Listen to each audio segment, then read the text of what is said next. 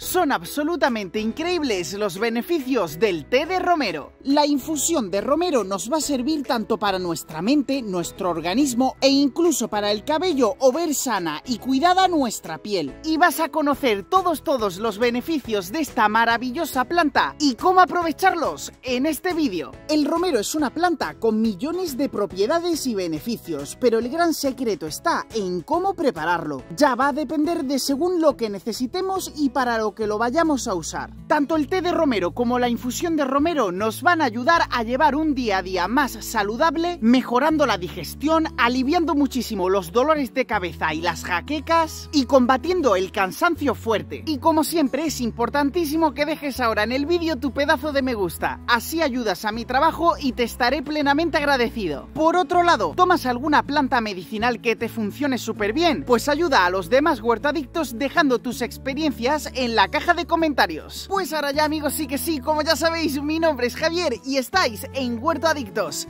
¡Empezamos! Si te preguntas para qué sirve el té de romero, desde hoy vas a conocer todas las ventajas de esta increíble planta que vas a tomar seguro a diario. Prestigiosas universidades por todo el mundo han demostrado que el romero mejora muchísimo la capacidad cerebral, alivia el estrés y también nos ayuda a estar más concentrados en exámenes, en el trabajo, en las actividades del día a día que desarrollamos. Muy interesante. Y es que el gran secreto del romero se encuentra en sus hojas, ya que aquí es donde se encuentra el aceite esencial de esta planta con todas esas maravillosas propiedades. El romero es rico en flavonoides, terpenos y ácidos fenólicos, que son compuestos que nos aportan propiedades antioxidantes que nos ayudan a conservar células sanas y fuertes. Y si eres como yo, que muchas de las comidas nos sientan mal, se nos hacen las digestiones muy pesadas e incluso nos notamos cierta acidez en el estómago, pues bien, aquí entra el té o la infusión de romero que nos va a aliviar todos esos trastornos del estómago y además de todo eso, al ser una planta totalmente antiséptica, todo tipo de bacterias y virus que nos estén molestando en el sistema digestivo los va a eliminar. Pues bien, en el vídeo voy a enseñarte dos formas en la que podemos preparar la planta del romero. Una de ellas es para disfrutar de todos los beneficios que ya te he comentado y por otro lado, el romero también nos va a servir para evitar la caída del cabello, para tener la piel más limpia, clara, sin tantos signos de la edad. Pues bueno, esa es otra parte, otra receta que también te voy a explicar más adelante. Pero lo primero es lo primero, vamos a ver cómo se hace esa infusión de romero. Como veis, huertadictos, yo tengo aquí mi preciosa planta de romero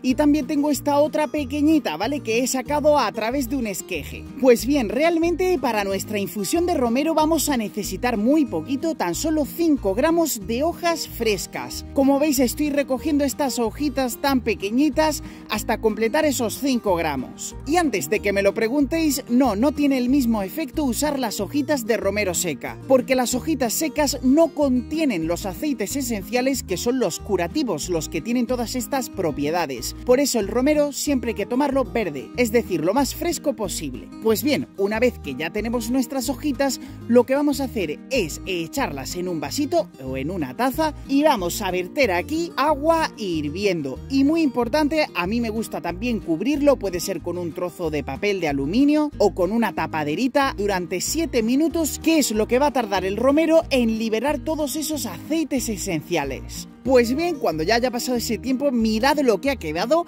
Ha quedado con un aspecto, un olor y una apariencia maravillosa. La verdad es que lo que más me gusta es el olor tan rico que tiene. Voy a probarlo y qué puedo deciros si es una de mis infusiones favoritas de todos los días. Lo ideal es tomar el romero tres veces al día. Una por la mañana, una antes del almuerzo y otra antes de la cena y ya veréis cómo vais a empezar a disfrutar de todas esas propiedades digestivas tan maravillosas. Pero ojo chicos, que aún hay más. Voy a enseñarte cómo yo preparo la decocción del romero. Esto es muy distinto a lo que hemos hecho con la infusión y lo resultante nos va a valer tanto para lavar el cabello como para lavarnos la cara, las manos y las zonas de la piel que queramos. Súper interesante y tiene una preparación también súper sencilla. Para preparar la decocción de romero no vamos a necesitar más que esto que tengo aquí, que son dos o tres ramitas de romero, aproximadamente unos 30 gramos, y esto nos va a valer para un litro entero de agua, agua que voy a colocar dentro de esta olla. Así perfecto, ya tenemos nuestro litro de agua que está empezando a hervir. Justo cuando ya empieza empiece a hervir vamos a echar nuestras ramitas de romero. Removemos un poquito, dejamos que el romero se moje bien, se impregne y ahora muy importante, durante toda la cocción, que será unos 15 o 20 minutos, vamos a tener que tener la olla tapada completamente. Huerto Adictos ya han pasado esos 15 minutos y yo voy a apagar el fuego y los 5 minutos restantes lo voy a dejar sin fuego directo, es decir, directamente que repose. Pero eso sí, como estáis viendo, sin levantar la tapadera todavía. Y ya lo único que tendremos que hacer es dejar enfriar nuestro preparado, nuestra decocción de romero. Con esta mezcla, una vez que se enfríe, vamos a poder aplicarlo directamente sobre nuestro pelo, sobre la raíz, y una vez que lo apliquemos, dejamos reposar hasta que se seque completamente el agua que nos hemos echado en el pelo.